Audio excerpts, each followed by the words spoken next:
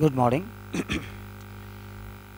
Today we are continuing the lesson doping. In this chapter, we have studied about some of the substances which are prohibited in sports. We have studied stimulant and second we have studied anabolic steroids. Now third we are discussing the performance enhancing substance that is peptide hormone. Peptide hormone is the word it is the chain of protein molecule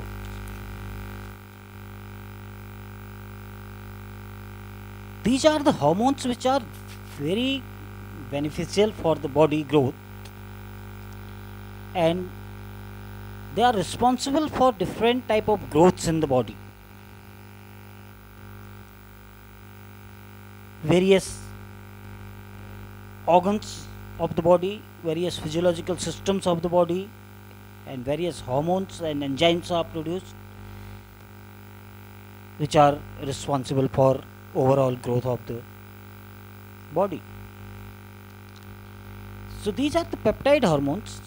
These are the substances produced by gland in body.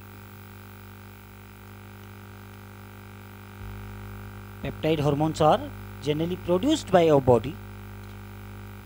They carry the oxygen and circulate in the blood. And through the blood, these hormones are circulated to the different parts of the body. They increase the production of RBCs and hence improve the growth of muscles.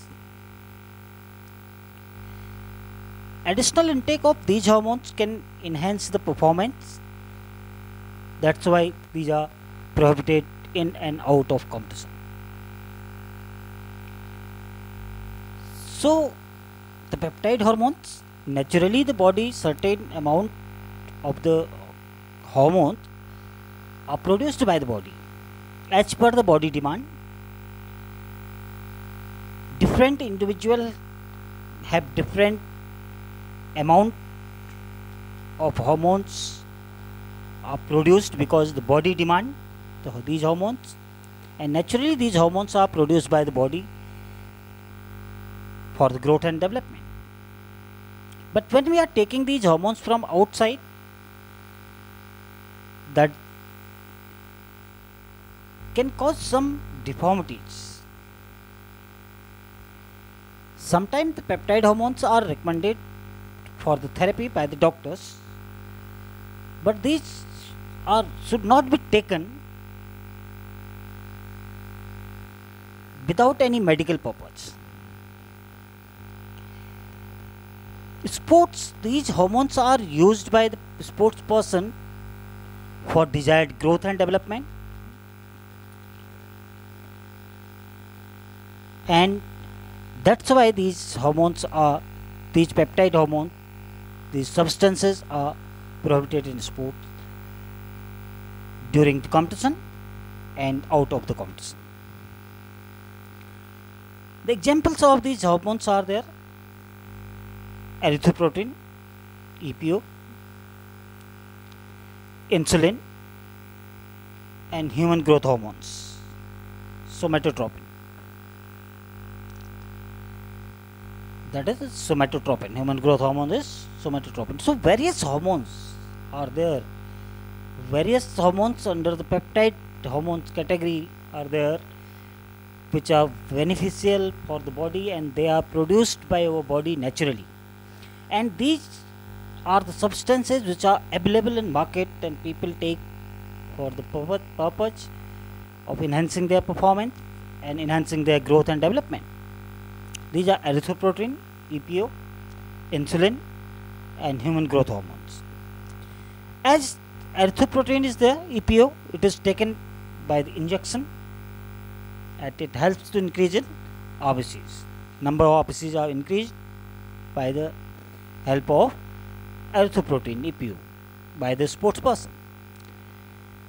Insulin, it is also taken orally and by injection also and it enhances the muscle growth. Human growth hormones, it also used for various desired growth in the body. It is also taken orally and the, by the form of injection. So this is about the peptide hormones. Peptide hormones are the prohibited substances which are prohibited in sports and these hormones are naturally produced by your body and that is beneficial when they are being naturally produced by the body. Then we will see the picture of the peptide hormones I am showing you. So these are the protein molecules are binded together that is known as peptide bond. So that's why this these are known as the peptide hormones. Next we will come to the beta 2 agonist. Beta 2 agonists are the drug generally used to treat asthma. What is the main use of purpose of these drugs? These medicines, these are the medicines for asthma. And it relaxes the muscles that surround the airway and opening of the air passage. That's why it is used to cure the asthma. It allow more oxygen to reach the blood because when more oxygen will reach to the lungs, so more oxygen will reach to the blood. It enhances the respiratory functions, increase their capacity of strenuous, strenuous efforts and shorten recovery time. So this is the use of the beta 2 agonist. In case of a sports person, it increases the capacity of strenuous ac activities, strenuous efforts and shorten recovery recovery time. Because inhalation is increased, oxygen sub, uh, sufficient oxygen is supplied to the blood by the lungs, so it increases the respiratory efficiency overall. So there are examples are there. Acebutol,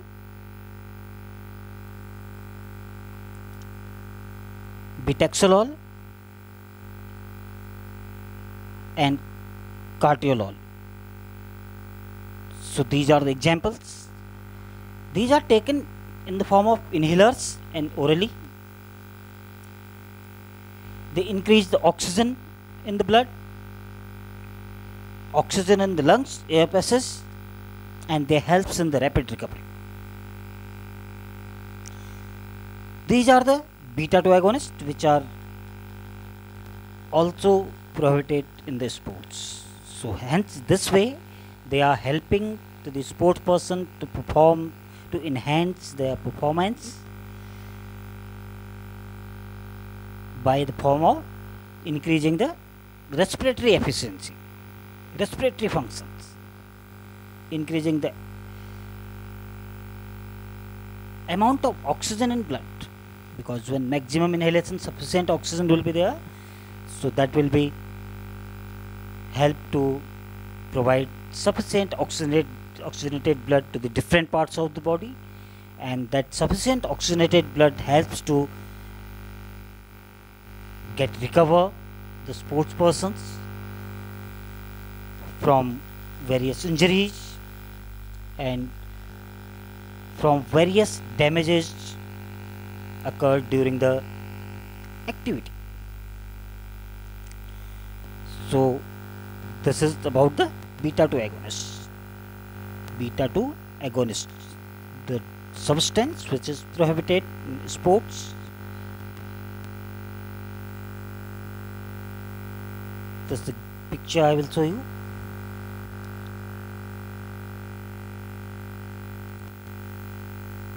In the form of inhaler. It is given to treat the asthma. It improves the lungs efficiency. It opens the air passage, hence the maximum oxygen reaches to the lungs and to the blood.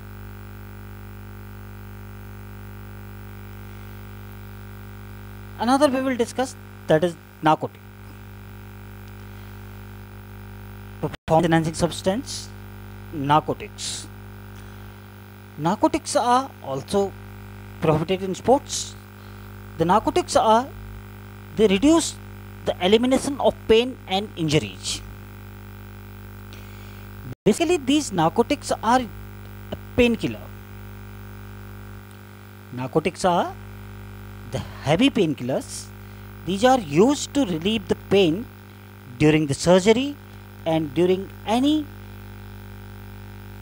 pain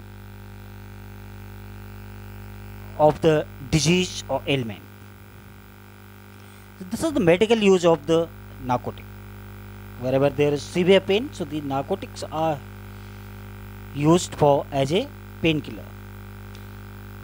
But in athlete, in sports, athlete to do persistent effort for a longer time by using narcotic to ignore the injuries. Athlete increase further risk to damage their body. It also reduce anxiety, which enhance the performance. So narcotics are helping to the sports person in which form? They first of all they delay the feeling of pain. Because during the sports activities some sort of damage or tension of, over the muscle muscular system can be felt. And for delaying this feeling of pain and discomfort and anxiety various sports persons use narcotics. That's why the narcotic is prohibited in sports. Narcotics are also prohibited. These are the drugs. These are the substances which are harmful when they are taken without prescription of doctors and without any medical purpose. They are very harmful for the body they directly affect our central nervous system. They makes people central nervous system to delay the feeling of pain they delay the sensation they affect the working of nervous system. So that's why these substances are prohibited in sports as well as in common life also. Normal persons are also suggested to do not use the narcotics because they have very severe side effects later in life. And while they are used that time also they cause serious problems serious accidents serious physical and psychological problems. So people may suffer with various serious problems by using narcotics. They only give pleasure for certain time duration short time duration and they have long lasting side effects. Examples of these narcotics are morphine heroin pethidine etc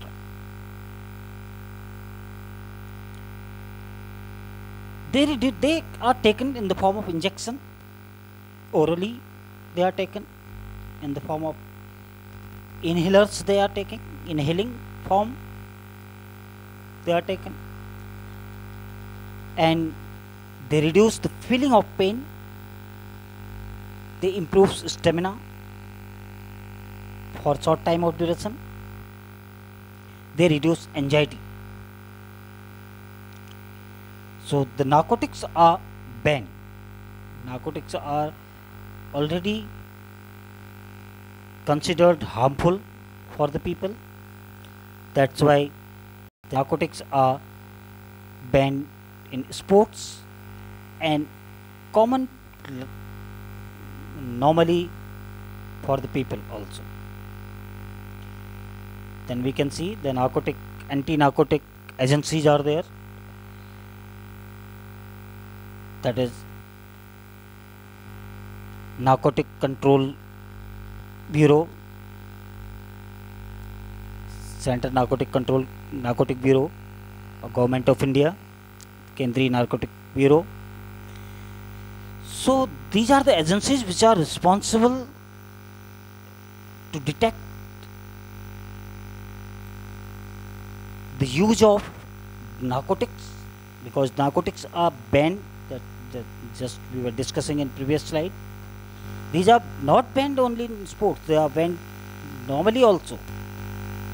That's why these agencies are always finding the people who are using and who are selling these kind of drugs. These drugs are only sold under the prescription of medical practitioners or doctors. Because these are very harmful and they have very harmful side effect in the human body. Next we will discuss about diuretics. Diuretics are the drugs by which the name we can understand diuretics. They increase the urination urine formation in the body. They increase the formation of urine in the body. And that's why the name is the diuretics. These are non-performance enhancing drug because the diuretics directly they are they do not enhance the performance of the individual the sports person but indirectly they affect the performance of the individual. They help to enhance the performance indirectly. How indirectly that i will tell you. Because the diuretics are used by the sports person to lose the weight. Because frequent urination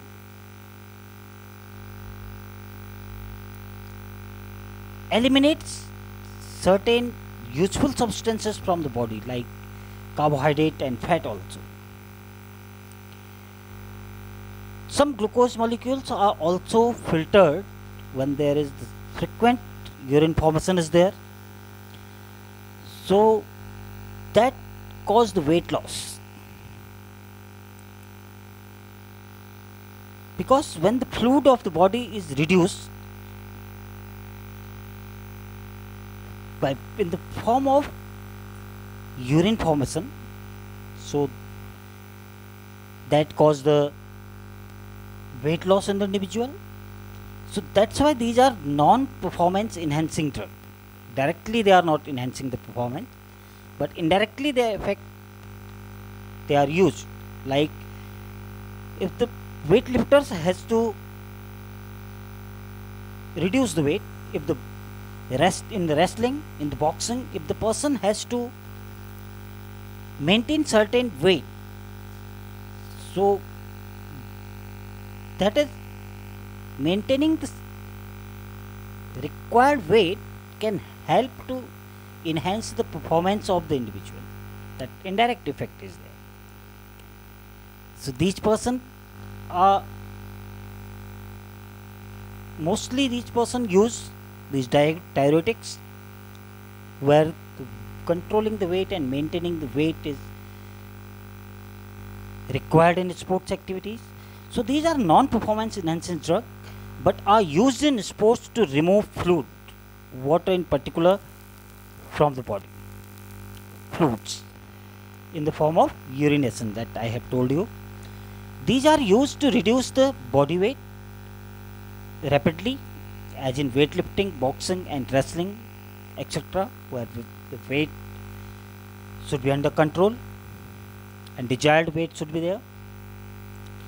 These drugs are also used to evade anti-doping tests. These drugs are used by the athlete in and out of competitions. So, what is the use of the diuretic? They are commonly used medically, they are used to enhance the urine formation in the body. Various the urological disorders. Urological disorders where there is the urine formation and kidney problems are there. So in which the urine is not being formed properly. The kidneys are not working properly. As we know the nephron is the unit of kidney which is used to filter out the harmful substances from the body and it eliminate the harmful substances in the form of urine from the body like urea so the urination when frequently frequent formation of urine is there in the body so that sometime in the function mechanism of the nephron when we will you will study so then you will understand that the frequent formation of urination cause the loss of useful substances sometime so that helps to reduce the weight in the athlete quickly. So that's why these drugs are also banned. Diuretics are prohibited in sports. The examples of the diuretics are dextran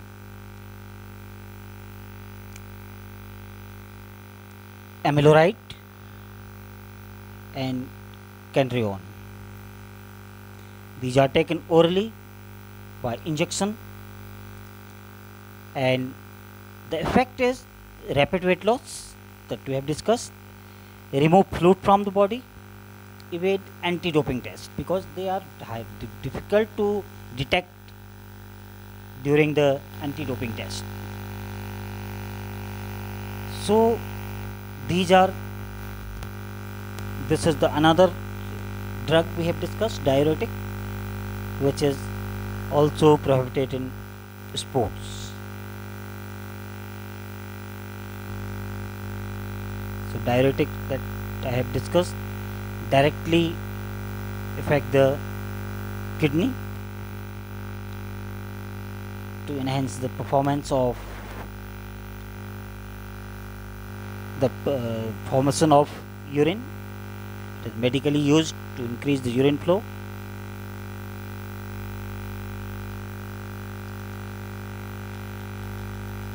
A diuretic is any substance that promote diuretic that increase the production of urine? All diuretics increase the excretion of water from body? That we have discussed.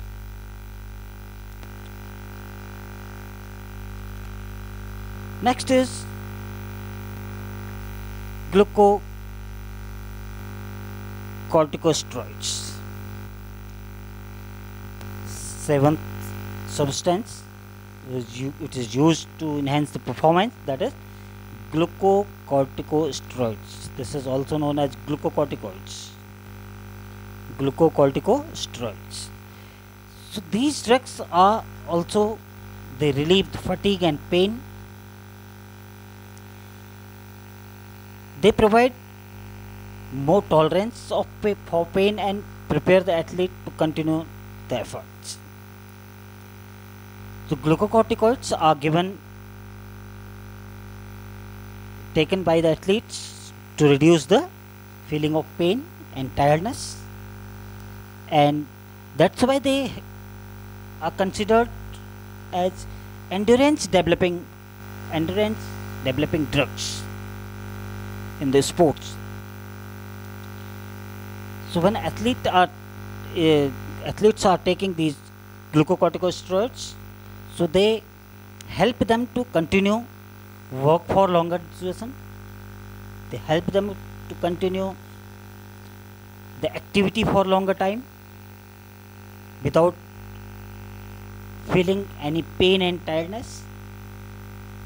So that's why these glucose corticosteroids are also prohibited sports. Another one is cannabinoids. These are also the cannabinoids which affect the central nervous system.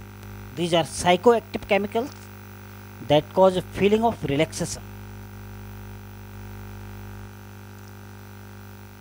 Cannabinoids are commonly known as hashish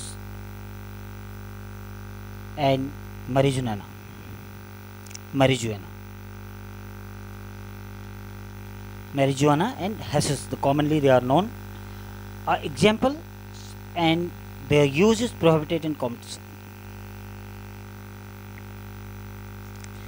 These are the derivative of cannabis sativa that we will see in further next slide. The cannabinoids are the derivatives of cannabis sativa. This is the plant. Cannabis sativa.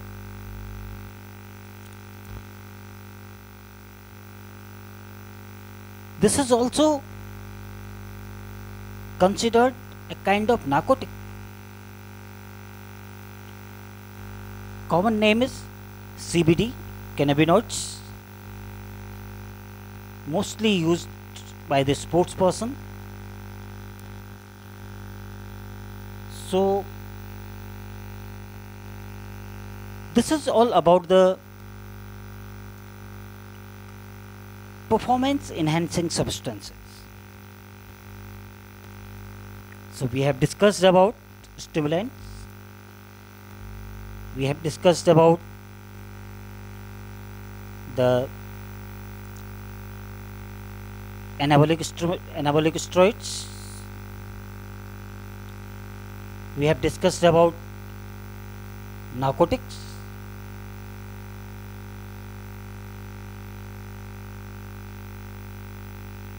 We have discussed about the diuretics. We have discussed about beta 2 agonist. We have discussed about glucocorticosteroids. And we have discussed the cannabinoids. So these are the various drugs which are known as performance enhancing substances. So now we will discuss about the physical methods of doping. So this we will discuss in the next video.